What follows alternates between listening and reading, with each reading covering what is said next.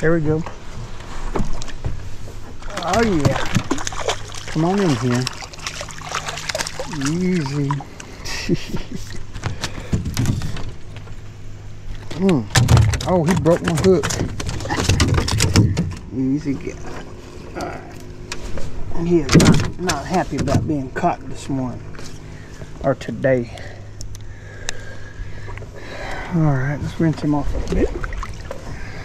Nice, pretty black crappie.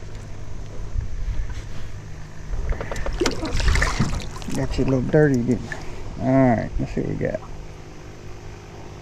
Ten and three quarters. Nice thick crappie. We'll take him.